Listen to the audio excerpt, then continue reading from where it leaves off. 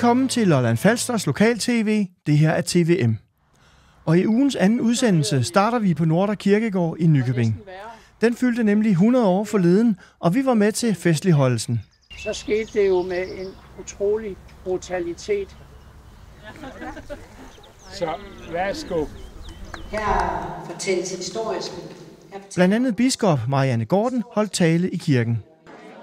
Efterfølgende var der reception, hvor også direktøren for Museum Lolland Falster, Ulla Schals, holdt tale. Og, øh, og i de spændende kasser, der kan man se lidt af, hvordan han gik til værks med det arbejde. Han har taget det meget seriøst. Og derefter skal vi kigge tilbage til dette års Døllefjælde Musemarked for sidste gang. Vi er med om søndagen, hvor vi tager pulsen på markedet. Vi taler med nogle af gæsterne og udstillerne, Jeg har haft øh, pølse på to forskellige steder og skal også høre en afsluttende replik fra formanden for markedet. Rigtig god fornøjelse.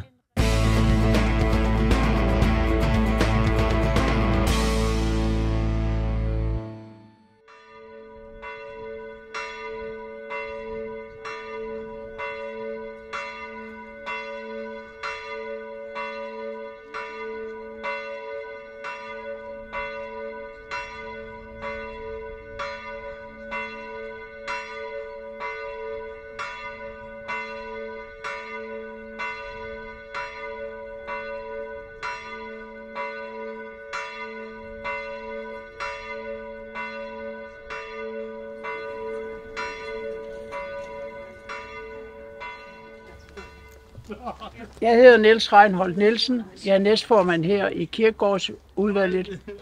Og jeg vil gerne byde jer rigtig hjertelig velkommen til den her specielle, dejlige dag.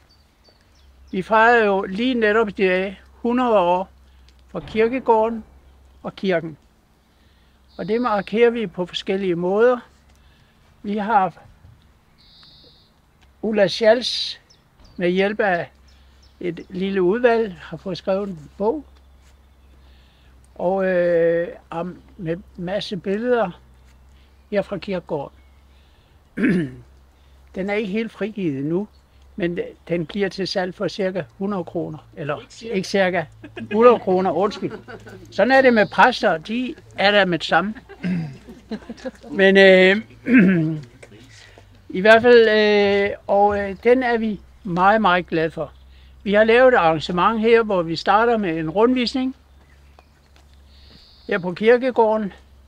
Øh, vi afslører senere hen en sten til minde om dagen i dag.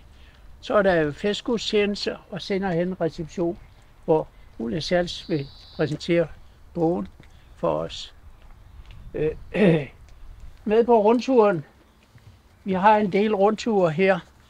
Rundvisninger på kirkegården, så har jeg Kasper Rødsgaard Nielsen, som er vores øh, leder af kirkegården her. Der er nogle folk ansat, og øh, han vil fortælle, han vil i kirkegårdsudvalget bestiller vi, hvordan vi gerne vil have kirkegården. Og Kasper han udfører det med, med hjælp af hans dygtige med, øh, sin dygtige med, medhjælpere. Det kan være, at du lige vil sige lidt om, om driften af kirkegården. Det er, det er Kasper, og jeg fortæller lidt om det historiske og forskellige lidt. Ja. Øh, kort sagt, så er den her kirkegård samlet set øh, små 10 hektar. Vi har 6 hektar den vej ud, og så det øvrige ligger bag ved os, og det er primært den vej ud, vi har kirkegård, og den vej derude har været produktionsområde, hvor man har tidligere har selv lavet planter og klippet pyntegrønt og alt sådan noget. På kirkegården her, der er 13 gardner, der går og passer det hele herude. Nogle er her ikke om vinteren, men øh, nu her er vi øh, 13, øh, der går rundt og sørger for, at der ser ordentligt ud, og passer gravsteder og sørger for, at det hele er, som det nogle gange skal være. Øh, jeg tænker, det er det, og så går vi rundt øh, og ser lidt forskellige gravsteder herude, og Nils øh, har måske lidt mere at sige nu her, inden vi, øh, vi går. Det har været dejligt at have Ulla Schals med, fordi jeg troede, jeg vidste alt om Lort og Kirkegård. Men det gik jo op for mig. Det gjorde jeg jo ikke helt alligevel. Så det har jo været øh, udbytterigt at have Ulla Schals med på sidelinjen her. vi kender til fem kirkegårde her i Nykøbing. Den første, den lå ved den gamle kirke op på torvet ved Nobels fabrik. Øh, der står her, at den fortsat til 1854, men det tror vi ikke rigtigt på. Er det ikke rigtigt? Men den blev i hvert fald øh, bekendtgjort ved trommeslag. Det gjorde man dengang. At hvis gravstederne ikke blev istandsat inden en bestemt tid, så blev de nedlagt. Og det vil sige, at, at, at den kirkegård blev nedlagt på et eller andet lidt ubestemt tidspunkt. Så var der den kirkegård, der lå rundt omkring Klosterkirken. Den havde været i brug siden munkenes tid. Og den blev nedlagt i 1873. Det er rart at se, at du nikker.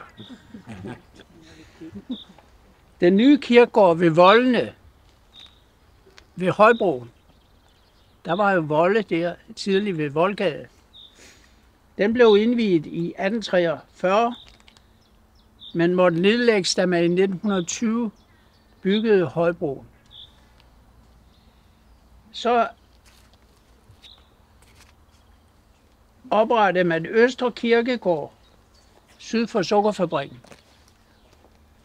Det var i 1883, den blev udvidet i 1902 og, 1907. Der blev opført et kapel i syv efter tegning af arkitekt Glan, som ligger begravet her på Norderkirkegård. Og et krematorium, det blev der opført i 31-32 efter tegning af Albert Petersen. Der blev lavet en urnehave i 1934.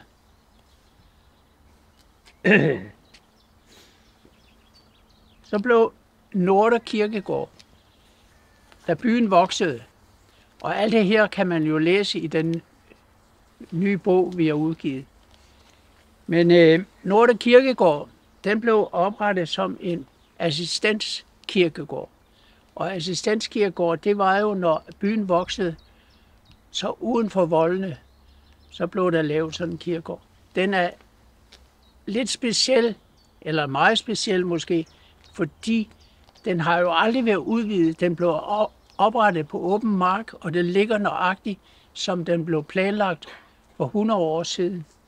Og vi har været, det kan vi jo takke forskellige på vores kontor for, Arne og forskellige andre, at man har bevaret alle tegninger og alle regninger og alt fra dengang for 100 år siden. Så vi har kunne, og det er med i bogen også, plan, og så vi kan, vi kan jo fortælle, hvad har det kostet at, at, at dræne for eksempel her? Hvad har det kostet at anlægge øh, kirken og, og, og det forskellige ting? Alle tegningerne, arkitektens tegninger ligger, har vi og det hele. Så det er jo dejligt. Øh, den blev lavet på i 1923. Det er jo klart, det er ved almindelig hovedregning, så er det cirka 100 år, eller ikke cirka, undskyld 100 år, så er det, det der cirka, det skal vi væk fra. Men nå, det er 100 år siden, netop i dag. Og øh, der blev tegnet et kapel, som senere hen blev øh, Øh, indviet til kirke i 93. Og det var arkitekt Albert Petersen. Og, øh, og så startede man her på Barmark. Det er de kirkegårde, vi har, vi har kendskab til her i Nykøbing. Og øh, vi har sådan flere rundvisninger, og vi plejer at gå en ganske bestemt øh, rute, stille og roligt. Øh, jeg har mine papirer her, hvis nu der er noget, jeg ikke kan huske, sådan cirka, så har jeg, så har jeg papirerne. Jeg har også min stok med, det- og det er ikke for at holde styr på jer, men det er fordi, jeg har fået et par nye hofter, og så er det samtidig lidt med balancen. Så, så øhm, jeg synes, vi skal starte med og, og vi går ikke anden 20-30 meter, så skal vi lige se på en ting herhen. Og øh, har du mere at sige nu, Kasper? Det tænker jeg ikke. Nej, nej, vi går.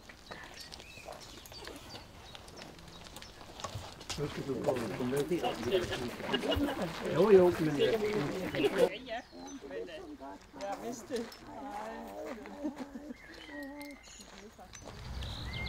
Da 2. verdenskrig sluttede, kom der jo en masse flygtninge, tyske flygtninge, til Danmark.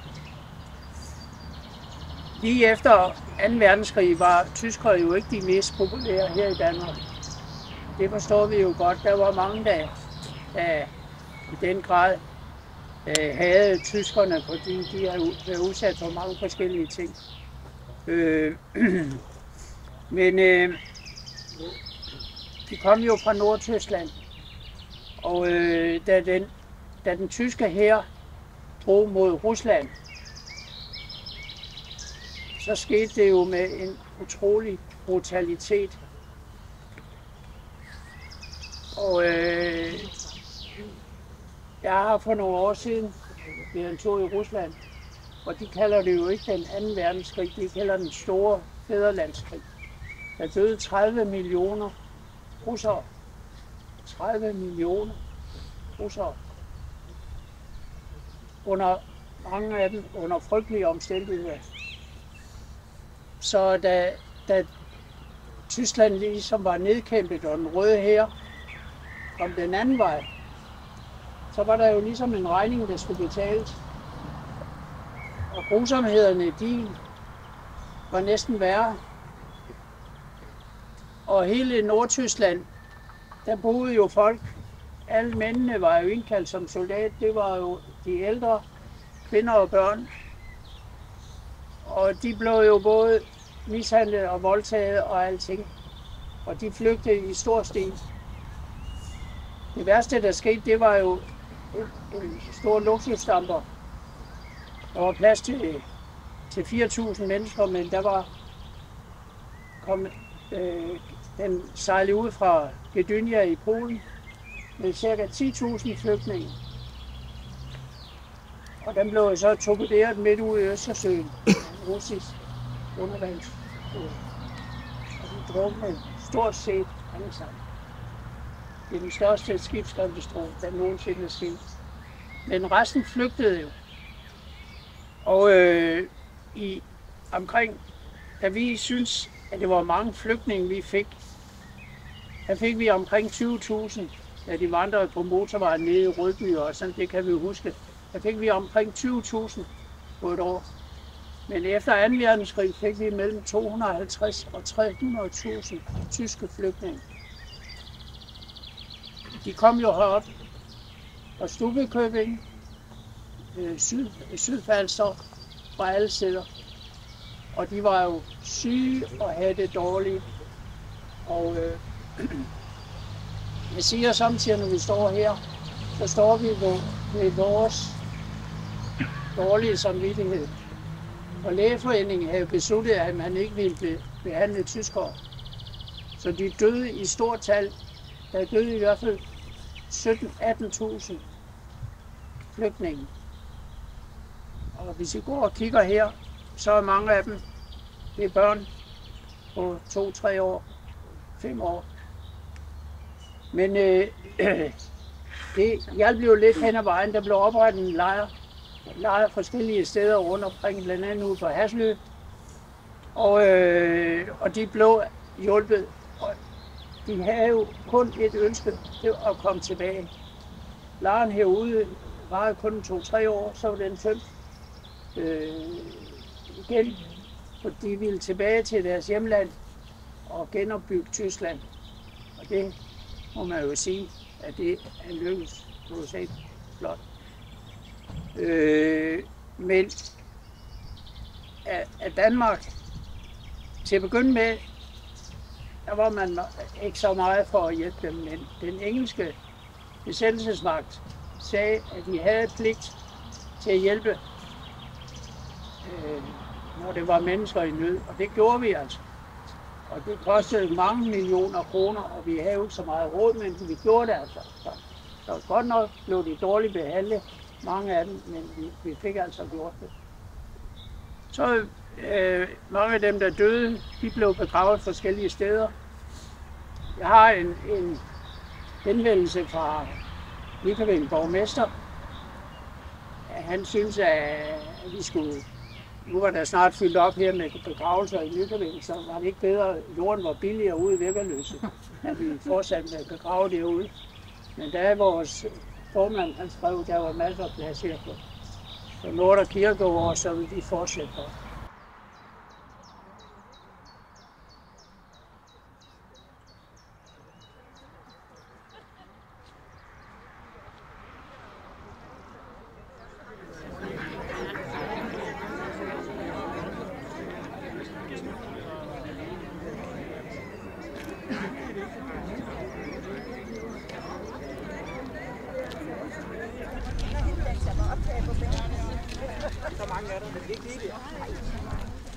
Ja, men så tror jeg, at vi alle sammen er ved at være samlet, og klokken den er lige ved at passe nu, så endnu en gang vil jeg gerne på kirkegårdsudvalgets vegne sige tak for det, at I kommer i dag og vil markere dagen sammen med os.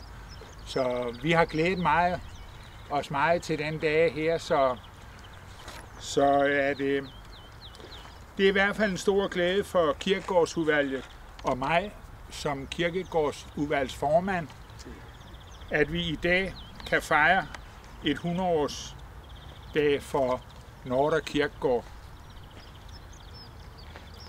I den anledning vil jeg gerne rette en stor tak til det jubilæumsudvalg, vi i Kirkegårdsudvalget har nedsat. Jeg er stor tak skyldig til jer og glad for, at I vil påtage jer den kæmpe opgave, det har været. Så tusind tak for det.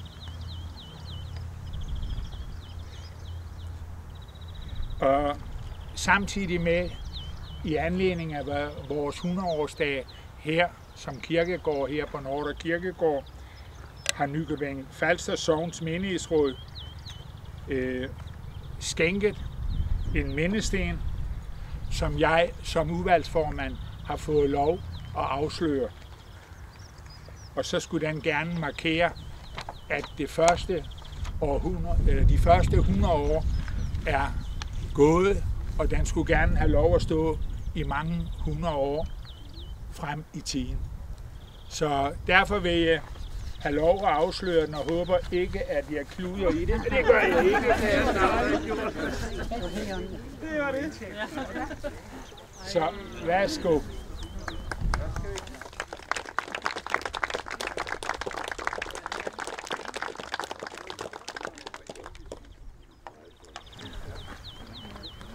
Ja, men så er tanken jo, at vi skal i kirken klokken 16 skulle vi gerne være klar derinde for at holde tidsplanen. Så vi kan vel så småt gå ind og finde os en plads, og så overvære biskoppens prædiken.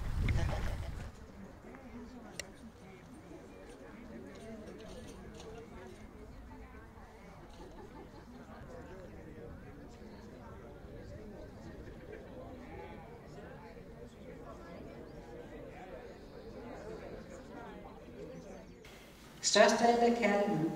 Sådan kan man gå og tænke lidt, når man kigger på gravstenen. Så jeg tror ikke, det er helt rigtigt, at man ikke har mere at skulle have sagt, når man først er død.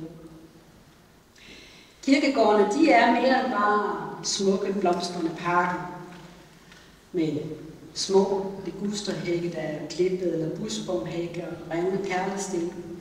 De fortæller også historier og livshistorier om vores fortid. Og har man først engang været udlandet og set en kirkegård med grus eller knæhøjt kvindgræs og nogle dusker af plastikblomster rundt omkring, så forstår man egentlig godt, hvor unik vores danske kulturarv er med kirkegården. Turisterne de imponeres over synet, og har man haft næser nede i budgetterne, så forstår man måske også godt, at provsterne de er imponeret over udgifterne. Men uanset hvad for et perspektiv man betragter det fra, så er kirkegården imponerende, både for de individuelle livshistorier og vores fælles kulturhistorie. Her fortælles historiske, her fortæller om vores samfunds historiske, sociale, religiøse og kulturelle, demografiske ændringer. Det afspejles alt sammen i vores kultur. Og her mindes vi de døde, og den tid, der var engang. Og her kan sjælen ligesom dvæle ved historien. Og Nordre Kirkegård er ingen undtagelse. Også den er imponerende. Fortæller både individuelle historier, som for eksempel den unge 19-årige frihedskæmper, der døde 10 dage før 2. verdenskrigs afslutning. Eller om de sidste måneder af krigen, hvor forhudlede tyskere flygtede hertil, hvor de hverken blev modtaget med næstekærlighed eller lægehjælp. Det kan vi se med den store mindesten for den faldende frihedshelt, eller det store område med de snorlige rækker af ens kors med ens inskriptioner. Jo, kirkegården også her så også fortæller livshistorie, kulturhistorie. Det er ligesom sådan et kollektivt erindringssted, både for byen og for omegnen. Et sted, hvor vi kan lade tankerne dvæle og tænke på, at vi også selv engang skal herfra.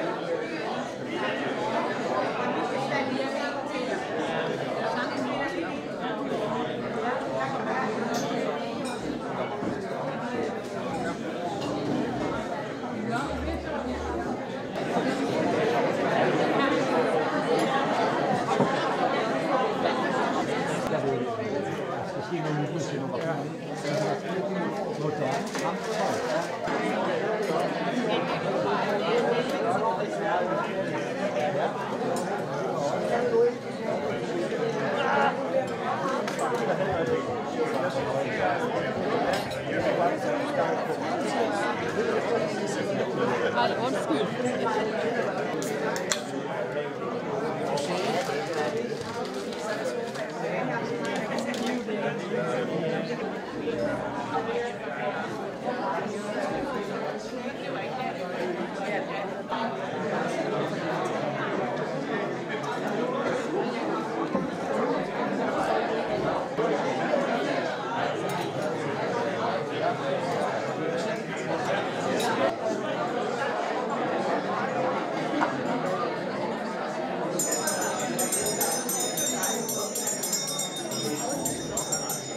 En hver menighedsråd altså siden rådets oprettelse taget sig af og spore om fremtiden, passe på fortiden og gøre, hvad vi kan for os, der lever nu. Jeg takker de råd, der forud for det siddende har set den store nordlige del af Nykøbingstrængen til en kirkegård. At så store og flotte dimensioner. Jeg takker for rådene gennem årene, der har passet på stedet, og alle, der bruger haven og føler, at det er deres. Det gør vi selv meget for at tænke selvfølgelig også på. Det tænker vi også selvfølgelig på. Derfor fremover skal være en gravhave for alle. Jeg takker alle dem i menigheden, der igennem 100 år har gået her, fået det tidligere kapel, kapel til at blive en levende kirke. Så Nordre Kirke er en selvfølge og med stolthed føler, føler sig som byens region. Det er fantastisk at fejre 100 år. Det er både et historisk hus og et fremtidshåb. For vi ser frem til de næste mange år her. Direktør Ulla Schals, som er forfatter til jubilæumsbogen om Nordre Kirkegård, vil jeg gerne takke for dit store arbejde med at skrive den og med at øse af din viden på lige netop dette område. Og jeg giver ordet til dig, Ulla. Tak. Tak. Nu skal jeg se, om den virker min mikrofon, Mon. Ja, godt. Jamen, tak. Og, øh, og tak, fordi jeg må sige noget. Den ser sådan her ud, og øh, den ligger lige derovre, øh, hvor man kan få lov at kigge på den senere.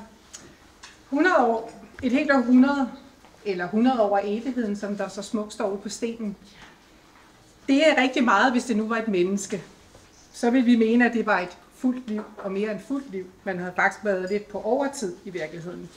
Men når det gælder kirkegård, så er det faktisk ikke så, langt, øh, så er det ikke så lang tid. Langt de fleste af vores kirkegårde er ældre, endda meget ældre end 100 år.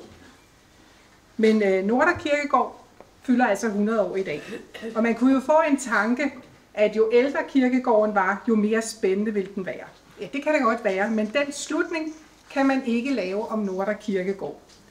Den er ikke blevet mindre spændende af lige præcis at være 100 år i 2023, og det vender jeg tilbage til.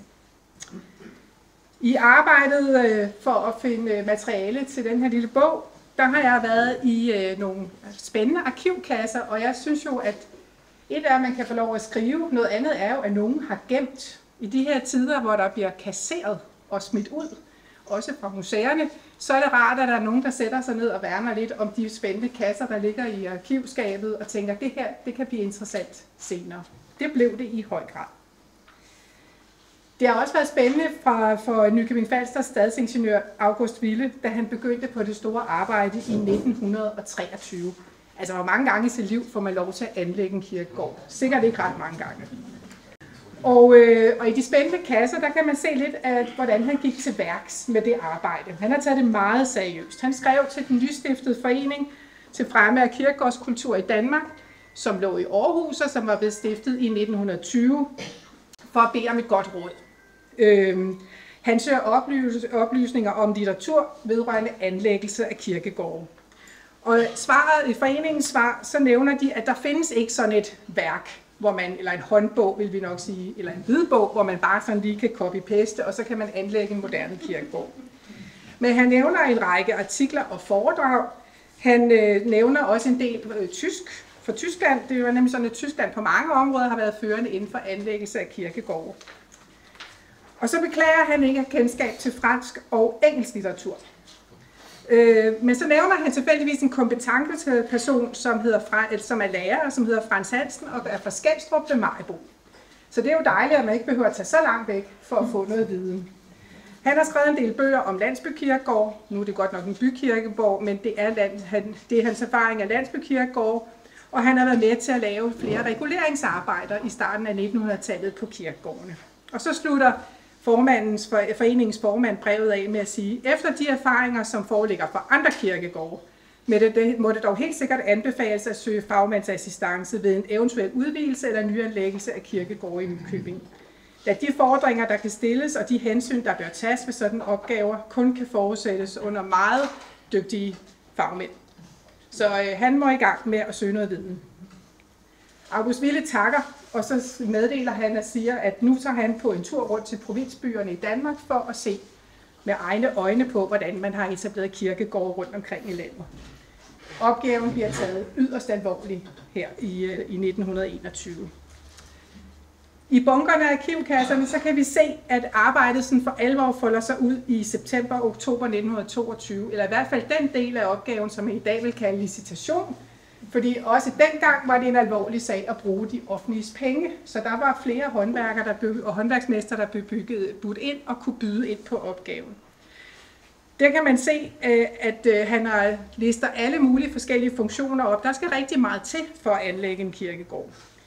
Og i det materiale, der kan man se arbejdsprocesserne og funktionerne. Man kan også se alle de lokale håndværksmester, som har budt ind på opgaven, og hvad de har tænkt sig at byde ind med. Der skal for eksempel købes en grund. Der skal laves jordarbejde og regulering, og der skal laves dræningsarbejde, der skal laves vandledningsarbejde, anlæg af veje og stier og gange. Der skal indhegnes, der skal opføres et kapel. Det koster 51.000. Det kan man dårligt snakke med en arkitekt med i dag. Øhm, så skal der en klokke til kirken. Øh, så skal der hovedindkørselsport, beplantning og tilsåning, materialeskur og plankeværk, og så er der diverse stempelafgifter osv. Man kommer op på den nette sum af 217.000 kroner for at anlægge kirkegården. Det kan man ikke få en tegning fra et arkitektbyrå nu til det samme, tror jeg. Så der er løbet meget vand i åen siden sidst. Man kan også se, at de her forskellige arbejdsprocesser af August Ville tager virkelig kirkeloven af 1922 brand alvorligt. For den indikerer netop, at man skal sørge for både passende indhegning og dræning.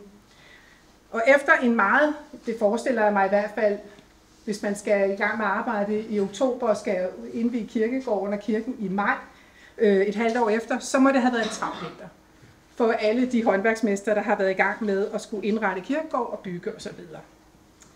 Og hvad er det så for en lov, den her fra 1922? Og hvorfor er det lige præcis, at Nordre Kirkegårds historie er så spændende i forbindelse med den? Det er, fordi i 1922 vedtages der en, en, en lov, som øh, handler om øh, reguleringer og anbefalinger vedrørende etablering af kirkegård og i øvrigt det arbejde, man gør sig på kirkegårdene. Og det vil sige, at August Will og øh, Albert Pedersen, som tegnede kapellet og som var med til også at indrette øh, kirkegården, de får jo sådan fuldstændig blankt læret at arbejde på. De kan starte fuldstændig forfra efter de nye og helt moderne vedtægter om, hvordan man anlægger en moderne kirkegård. Kirkeloven slår fast, det er en tendens, der har været allerede i nogle årtier, men nu bliver det skrevet ned og håndfæstet i en lovgivning.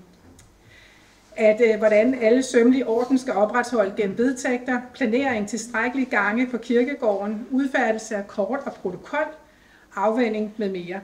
Desuden er det også i den lov, der siger, at det her med, at man tidligere havde sådan nogle skikke med, at man havde øh, en afdeling for ubemidlede øh, borgere, altså fattighjørnet, det skulle afskaffes. Det måtte man ikke længere have. Og i den anden ende af den sociale skala skulle de også de gamle rettigheder til faste ejendomskirkegravsteder, de skulle også bortfalde. Øh, gravstedsindretningen skulle i højere grad tage hensyn til helheden. Det skulle altså ikke være sådan at komme ind og se en masse små domæner. Det skulle være helheden, der var i centrum.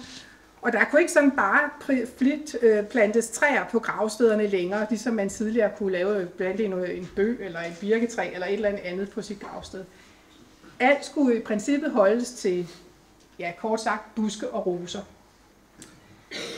Helt specifikt opfordrer loven også til, at gitter omkring gravsteder skulle undgås og erstattes med lave hække. Og det er derfor, når I går rundt på kirkegården og selv ser de gamle gravminder her på stedet, så er der ikke de her store prængende, øh, som man ser over på, på Østerkirkegård, som jo er anlagt øh, cirka 50 år før, og hvor man jo frit stadigvæk måtte arbejde med både store smedejernsgitre og kæmpe store gravsteder. Mm. Dem har vi ikke så mange af her. Dog undtaget øh, Thorsen, som jo er ham, der har givet jord, eller solgt jord til kirkegården. Så han har fået lov til at få et meget stort gravsted. øhm, Gravmænderne må ikke virke anstødelige eller skæmme helheden, og så i givet fald, så kan de faktisk fjernes. Øh, er der alt i alt er der tale om en begyndende social udligning, kan man sige, på kirkegårdene. Det her med, at, øh, at man har skilt sig ud i døden med nogle meget store familiegravsteder, med meget store gravminder, det er ved at være en saga blot. Ligheden i døden, den begynder stille og roligt også at komme ind på, øh, på kirkegården. Vi kan også se de to August Ville og Albert Pedersen øh, fra Glans Tegnestue, de overholder reglerne nidkært. Der findes to helt fantastiske læg i en af arkivkasserne med de første 10 års gravminder. Og de er, jeg tror, de er der alle sammen. Der er et par hundrede eller 150 stykker i hvert fald. Og det, er, det går ud på, at dem, der har skulle øh, begrave folk på kirkegården, de har fået tegnet et gravminde, og så har det sendt hen til kirkegårdskontoret, som så skulle godkende, at det faldt inden for de her regler. Og hvis ikke det gjorde, så er man formentlig blevet sendt hjem og skulle lave det om. Men vi har af gode grunde kun de godkendte i de kasser. Øhm, og der er det, altså, det er guld værd for sådan en, som er vild med kirkegård og gravmænd som mig. Det skal jeg dykke mere ned i med tiden, fordi det er, det er helt unikt, at man har det. Det har jeg aldrig hørt om før. Øh, det er meget forskelligt. Nogle af gravmændene er tegnet på en tegnestue øh, i kæmpe store tegninger. Andre de er nærmest sådan tegnet på bagsiden af en serviet eller et, et stykke papir eller sådan et eller andet. Så der, er, der har været plads til både det ene og det andet. Og det viser jo rigtig meget om, hvad det er for nogle gravminder, der er meget populære der i 20'erne. Øh, ikke kun i Danmark, men sådan, eller i Nykøbing og, og i Danmark. Øh, kilderne afspejler jo også det, der skete på 100 år. De første 50 år, de går rigtig meget med bekymring for, om der var plads nok. I kasserne, der ligger der en masse udregninger. Øh, så hvor mange mennesker er vi i Nykøbing? Hvor mange dør der om året? Hvor mange har vi plads til? Hvornår skal vi købe ny jord? Det øh, skal jeg hilse at sige, at i anden del, halvdel af de 100 år der, de sidste 50 år, der har det ikke været den store bekymring længere. Og, øh, og et af eksemplerne er faktisk det, som vi har hørt tidligere i dag med, øh, med vores tyskergrave her på kirkegården, hvor, øh, hvor, hvor man, borgmesteren i byen var meget bekymret for, om det ikke var optag, ja, man kan sige det som det er, god kirkegårdsplads til, øh, til tyske flygtninge, så han anbefaler, at man flytter dem ud af byen og ned på, på Vækkerløse, hvor Hasselø-lejren, tyskerlejren jo egentlig hørte under. Men formanden her, han siger, nej, de kan sagtens være her, vi har plads nok. Øh, og det fik han jo ret i, at der var. Men det var ikke sikkert, at, øh, han, at det var på baggrund af det. Øh, jeg har dele bogen sådan op, jeg vil gerne kunne, at man, når man læser den, at, øh, at man også får sådan en lille bid af byens historie. Hvad er det for nogle tendenser i Nykøbing, som jo på mange måder er en helt almindelig købsted i Danmark? Det synes vi jo ikke, os der bor her, men alligevel et meget godt billede, følger nogle skemaer, nogle normer, nogle grafer, som så mange andre også gør. Hvad er det for nogle tendenser i byens udvikling, der gør, at man har behov for hele tiden at lave nye kirkegårde, og hvordan er det, at indretningen på kirkegården ændrer sig efter de nyeste trend og mode inden for øh, kirkegårdskulturen.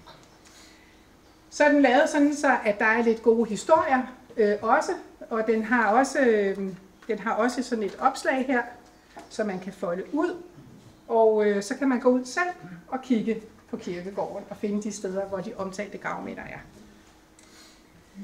Øh, det, er også, det er også et lille stykke Danmarks historie. Det er ikke kun en lokal historie. Der er også noget Danmarks historie i, øh, i det her. Og det håber jeg også, at jeg har fået skrevet frem i, øh, i bogen. Jeg vil ikke sige så meget mere andet, end jeg vil takke utrolig meget for, at jeg fik lov til at skrive bogen. Øh, nu, når man er museumsdirektør, så går ens tid rigtig meget med budgetter og mus-samtaler og strategiarbejde, og derfor har det været en fornøjelse at få lov til at søge tilbage til det, som jeg kan fagligt, og få lov til at skrive en lille bog om det. Det har været, det har været utrolig spændende, jeg har været utrolig glad for opgaven. Tak til øh, Lind, ikke mindst, til Niels og til øh, Birte. Hvor sidder Birte? Du der. Ja. Og tak til Kasper, som jeg lige har mistet overblik over. Der. Og beklager, at vi har taget meget af din tid, Kasper. øhm, det har været en øh, fornøjelse at arbejde sammen med jer. Og så vil jeg sige tak til Ingrid Ries, som er fotograf. Hun er her også i dag. Hendes øh, smukke billeder kører op på skærmen. Det var dejligt, at I tænkte på det. Jeg må sige, at jeg har ikke lavet en bog før, og næste gang jeg ved, at den skal være dobbelt så lang. I hvert fald, når man arbejder sammen med Ingrid, det har været stort set umuligt at udvælge billeder til bogen. Men det er jo et helt års arbejde faktisk, hvor du har fulgt øh, kirkegårdens arbejde i tygt og tygt. Vi har forsøgt også, at der er også noget, der viser lidt om kirkegårds, øh, altså arbejdsprocesserne, hvor man, hvordan man ordner, planter til og ordner træ og så videre også. Så det også er arbejdspladsen i Nordre Kirkegård, der bliver skildret igennem bogen. Øhm, og Ingrid, hun har også bidt sig fast, sådan det der med at få lov til faktisk også at filme til nogle, øh, til nogle begravelser og urnenedsættelser og så videre. Det har været godt. Og tak til Mette Glyholm for det grafiske arbejde. I og med, at, jeg ikke, i og med, at det var første gang, jeg skulle lave en bog, så har jeg jo ikke været just erfaren, og det undskylder jeg meget for, at, øh, at processen er blevet, som den er blevet indimellem, fordi at jeg skulle lige have faktorernes orden i rækkefølge. Ja, det var det. Tillykke med øh, de 100 år.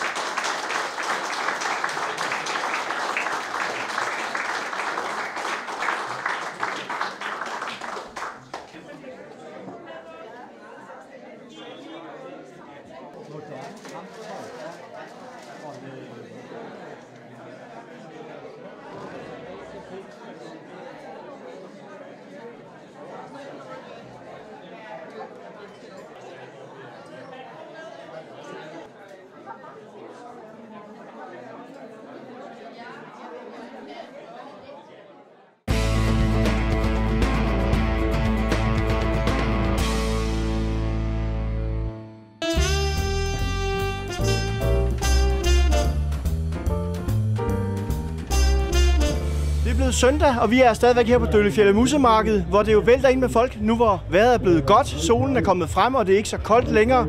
Og en af de besøgende, der er kommet forbi her, vores stand, det er Lærke. Og hvad laver du herovre i dag?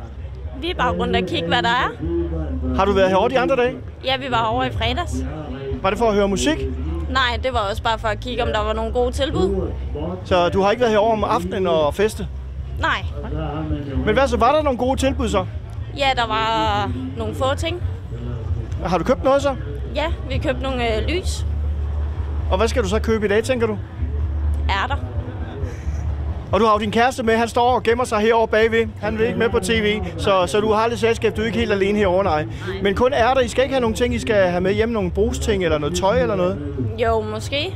Det kommer an på, hvad der er. Og hvad med den underholdning, der er musikken og det? Det skal I ikke ind og høre. Nej. Det er kun for at få en god handel og, og lidt hygge herovre. Ja. Er, er du her fra lokalområdet? Ja, det er jeg. Hvorhenne? Øh, Her på Lolland. her på Lolland, ja. ja. Og øh, så du plejer også at komme her de tidlige år, så? Nej, det er første gang, jeg er her. Er det det? Ja. Hvad synes du så om det? Øh, meget stresset. Der er meget larm og stemning og fest og støj og så videre. Ja, meget druk. Ja, det er specielt om aftenen jo, ikke? Jo, ja. Jeg tror i dag søndag er det nok mere stille og roligt. Der er det ikke så vildt. Nej, det er mere stille og roligt, end det var i fredags. Så må I have rigtig godt marked. Jo, tak. Tak skal du have. Så har vi fundet tre friske piger her i Tivoliland. Hvad laver I her? Øh, vi prøver øh, forlystelser og, øh, og hygger. Og hvad har, hvad har I prøvet indtil nu? Øh, Gymnastikker. Oh my god. Nej, alting. Øh, vi, har, vi har været her siden klokken var 10, så... Og hvad, hvad, hvad er den slemmeste forlystelse at prøve? Øhm, den nede i starten, den med kronerne. Ja. Jeg ved ikke, hvad den hedder. I har ikke været oppe i den der store, der svinger op i luften? Øh, jo, jo, den bedste. Den bedste? Ja. Er det første dag, jeg er her i dag? Øh, nej. Vi er her øh, hvert år. Alle dage. Og I har også været her de andre dage her? Ja. Jeg har været her alle dage, bortset fra fredag. Og hvad er så det bedste ved Dølfjeld Musemarked? Øh, at der er så mange mennesker, der er i så god stemning. Det, Og- det er hyggeligt. Der er helt vildt meget musik. Nu man bliver forvirret. Og nu er det jo så sidste år, hvor det er helligdag om fredag med Stor Bededag. Så til næste år, der skal I jo skole om fredagen. Hvad så? Øh, ja, men vi pjekker. Nej, det gør I vel ikke? Øh, jo. jo. I kan jo også bare være der om lørdagen og søndagen så. Ja, men det er nu om fredagen, der er sjovest. Så I tager en fridag der. Ja. Vi pjekker. Tak skal I have. God fest. Tak lige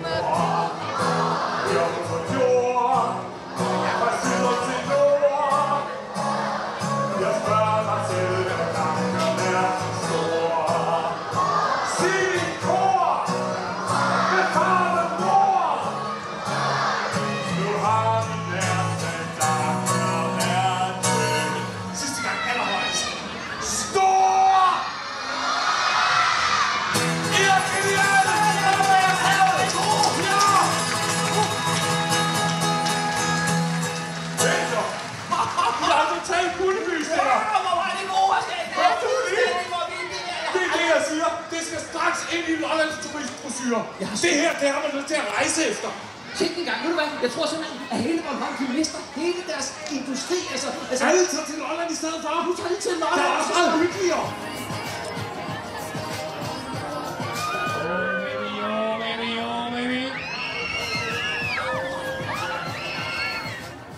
Der er lige lidt lækkerier tilbage til jer, ja. Ja, vi står her med Henning, som kommer fra det mørke Jylland. Henning, øh, det der med at køre rundt på markedet, er det noget, du gør meget? Det gør jeg meget, ja. Det gør jeg faktisk stort set året rundt. Torve og markeder, ja.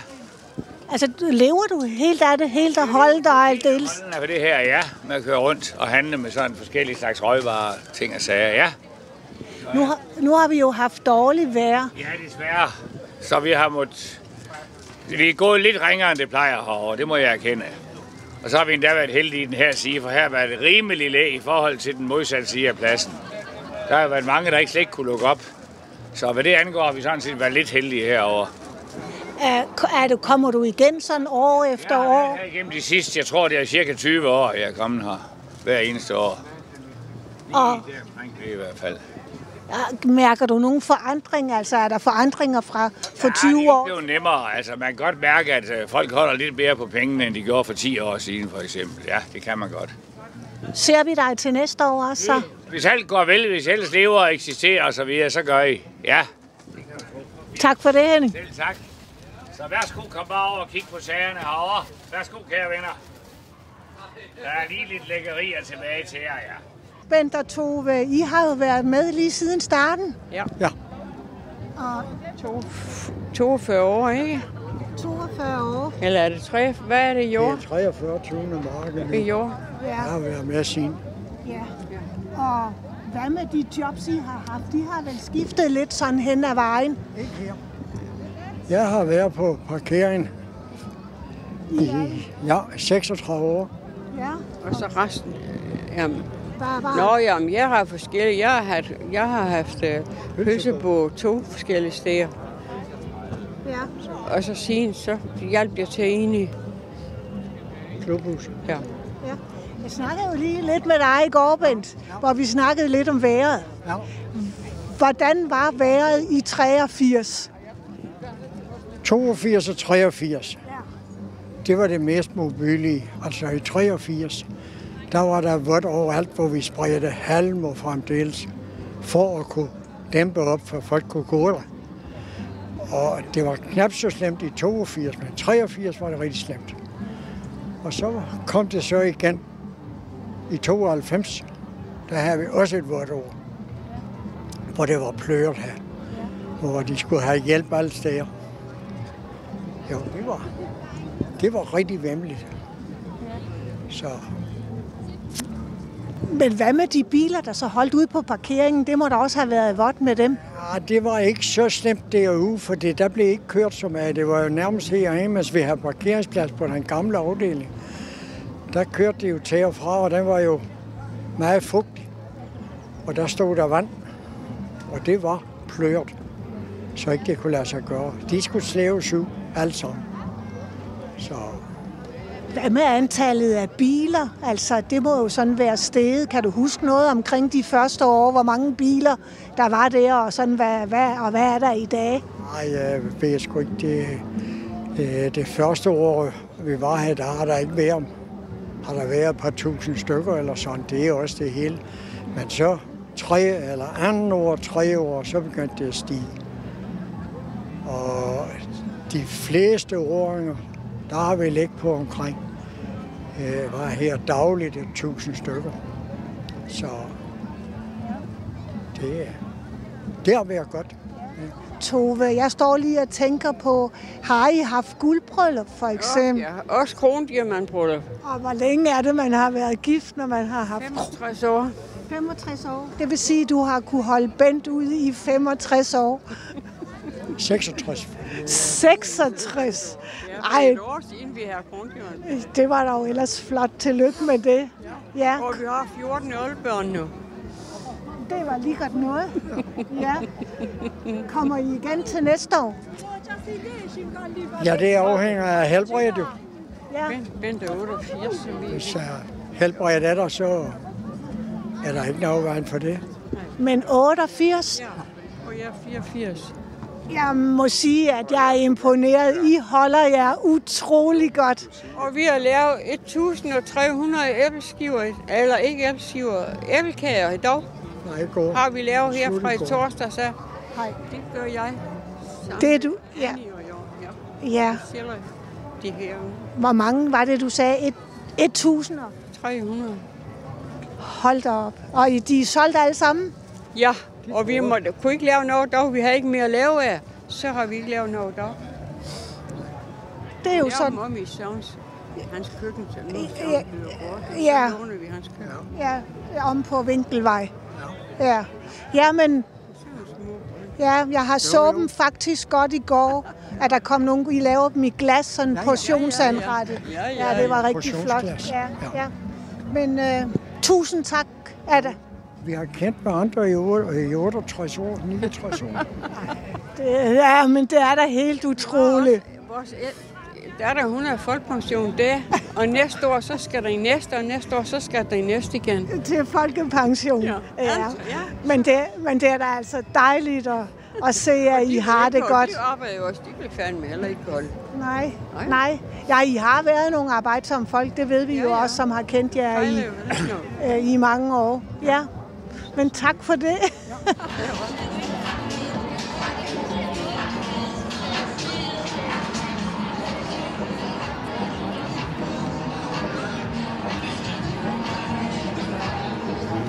Søndag eftermiddag på Døllefjælde Musemarked. Den sidste dag ude af fire, og endelig er det gode vejr kommet til Lolland. Solen skinner, vinden har lagt sig, og øh, det er også blevet lidt varmere.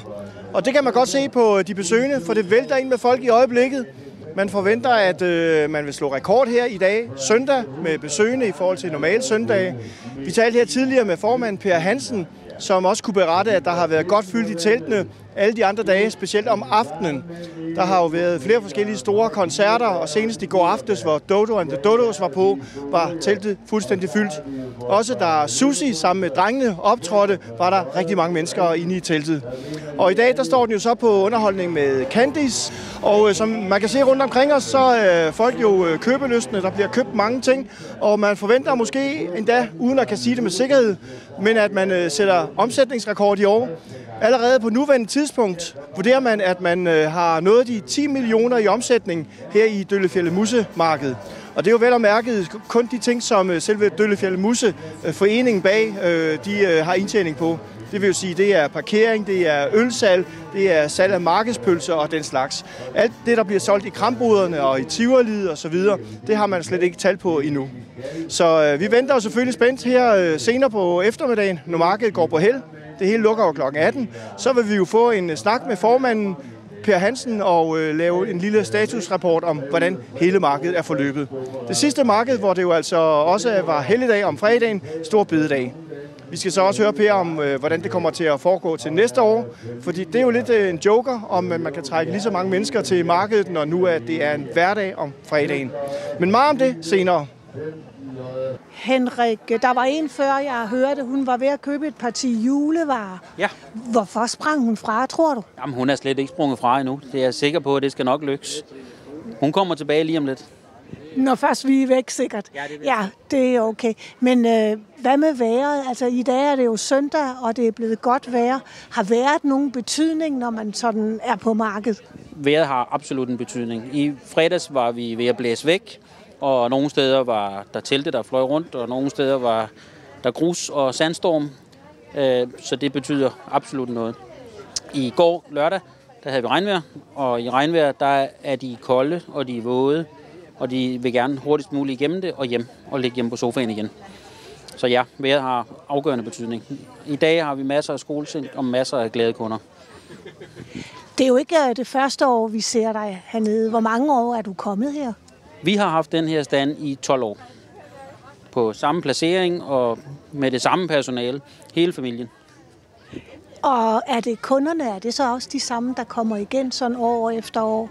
Der er rigtig mange kunder, der kommer igen og siger, jamen det her købte vi jo også sidste år, og det skal vi jo have. Og, og kan, har I ikke flere af dem, vi købte sidste år? Det er jo ikke sikkert, vi har. Hvad størrelse er det, for jeg har ikke mine, mine briller med. Det er en extra large. Kan jeg bruge den? Nej. Det tror jeg faktisk godt, du kan. Den kunne godt passe til lige dig. Så skal han på, når jeg skal få fat i en dame, ikke? Jo, det vil være godt. Den passer lige.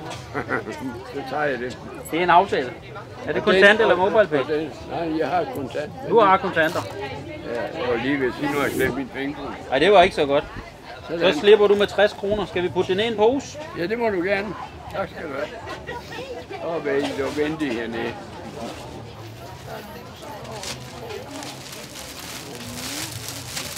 Jeg har ikke mindre. Så slår vi den i stykker. Tak. Du holder den lidt. Der fører ikke øh, sæbe med, vel? Der følger ikke sæbe med, nej. Men det skal man selv klare. Man har lov at spørge, ikke? Jo, det har man da. Tak. Det kan godt være den sidste dag, I har hernede, ikke? Jo, det er dejligt. Ja. Det, nu får du lige øh, en 50'er først. Uha. Og så får du lige... Så har jeg til resten af munden. Det har du nemlig, så får du lige 50 mere der. Ja, jeg siger mange tak for det. Ja, du får lige lidt til. Nå. Og sådan der. Mange tak. Så skulle den være der. Ja, og dem, jeg også, dem har jeg også betalt. Dem har du også fået med, ja. Det kan jeg tro. Vi skal have noget for pengene, når vi går på markedet, jo. Ja, det er godt. Kan du have det? Og i lige måde. Ja, så fik vi lige klaret en ekspedition midt i det hele. Det er da rigtig dejligt. Jamen, øh, fortsat god arbejdsløs, Henrik. Og Tak, det kan være, at vi ses til næste år. Jo. Det kan være, at vi ses igen, ja. Ja. Hej, hej. Hej, hej.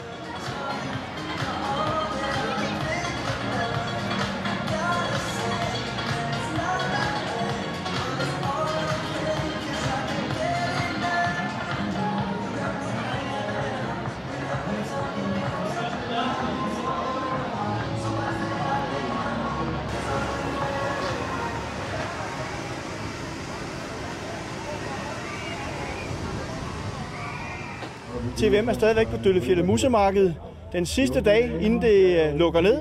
Og jeg står her med formand Per Hansen, og øh, det er jo altså fire dage, for rygende dage kan man roligt sige. Øh, hvordan er det gået til, hvis du skal sætte et par ord på? Jamen det har været fire meget travle dage for, for alle vores frivillige. De har haft travlt med at håndtere stormvejr og regnvejr, og, øh, og nu i dag en øh, travl solskinsdag. Ja, der skal så ikke håndtere så meget, kan man sige, når solen så skinner. Det var jo det, man kunne ønske sig alle dage. Men, men øh, på trods af de udfordringer med vejret, så fornemmer jeg, at der har været mange øh, gæster alle dage øh, her på markedet. Ja, der har været fyldt godt op i både busser og på parkeringspladsen, og ikke mindst ude i alle krammergaderne. Og også om aftenen i, øh, i teltene, hvor der har været musikalsk underholdning, fornemmer jeg, at der har været mange. Kan du sådan nogenlunde sætte tal på, hvor mange der har været over de her fire dage? Jamen altså, vi er, vi er jo oppe i, øh, i den, den øvre del af skalaen. Altså omkring en, en 100.000 gæster øh, har, har været forbi i løbet af, i løbet af dagene. Så du regner ikke med, at vi tangerer rekorden på 120.000 besøgende? Nej, det, det tror jeg ikke, men, men der har været rigtig fyldt i gaderne. Så... Og omsætningsmæssigt, der øh, har der også været rimelig godt gang i salget, både øh, hos krambruderne, men også ølsalg og, og så videre. Øh, kan man sætte nogenlunde tal på, hvad omsætningen har været her indtil nu? Nej, vi har ikke de endelige opgørelser endnu, men, øh, men det ser rigtig, rigtig godt ud. Der er blevet solgt rigtig meget i vores øh, forretninger, i, øh, i særligt i, i aftentimerne og i teltene. Og hvis vi kigger på øh, specielt om aftenen, hvor der har været musik og underholdning, og hvor folk har fået lidt at drikke, har der været noget ballade, noget slagsmål eller noget, eller hvordan er det forløbet? Der har været lidt småting, men, men ikke noget af, af større karakter, så, så alt i alt har der faktisk været en, en god stemning og, og relativt rolig på markedet. Så vi er ved at få forskånet for de større øh, skandaler, som, som sidste år, hvor der var, var drab på parkeringspladsen uden for Døllefjælde Musemarked her. Men øh, nu øh, er vi ved at synge på sidste vers. Der er en time til øh, det hele det lukker ned. Øh, kan du sådan ånde lettet op nu og sige, nu kan du slappe af? Ja, nu begynder vi at skal have pakket sammen og, og returneret forskellige udstyr og, og reetableret markedsarealerne, og så, øh, så kan jeg slappe af her sidst på ugen. Og du er fortrøstningsfuld omkring næste år, hvor Døllefjeld Musemarked bliver den første weekend i maj, men hvor der ikke er nogen helligdag, der er ikke noget stor bededag, så fredagen er jo en almindelig hverdag. Hvordan øh, tænker du, det kommer til at forløbe? Jamen, jeg tror, det kommer til at forløbe rigtig godt. Øh, vi kan se, at det setup, vi har fået lavet, det, øh, det kan også håndtere nogle, øh, nogle gæster i, i særlige eftermiddag og aftentimerne, øh, og vi samtidig kan få øh, et godt resultat ud af det. Så, så jeg tror på, at, at vi kan få tilpasset det, så, øh, så det kan lade sig gøre. Så det bliver stadig med store åbning om torsdagen om aftenen med, med nogle store koncertnavn, og så ellers videre om fredagen og lørdagen og søndagen? Ja, vi planlægger hen imod øh, koncerter om torsdagen og, og marked øh, og, og musik i, øh, i teltene øh, fredag, lørdag og søndag. Det lyder godt. Du skal have mange tak for snakken her, og øh, så må du have fortsat godt marked her den sidste time, der er tilbage, inden det lukker. Tak skal du have. Selv tak. Det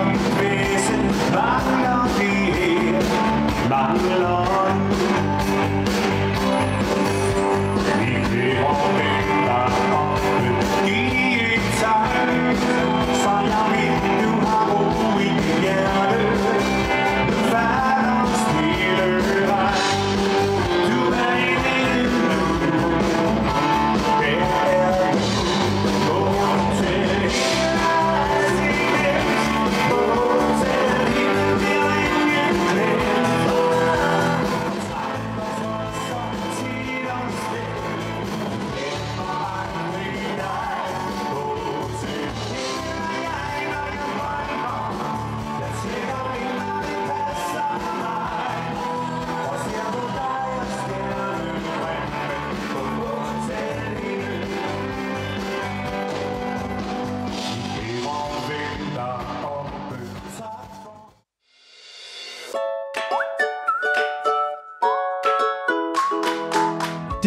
TVM Lolland Falster havde at byde på i denne ugens anden udsendelse. Vi er tilbage igen på mandag kl. 22 med de ugenlige nyheder. Tak for nu og på gensyn.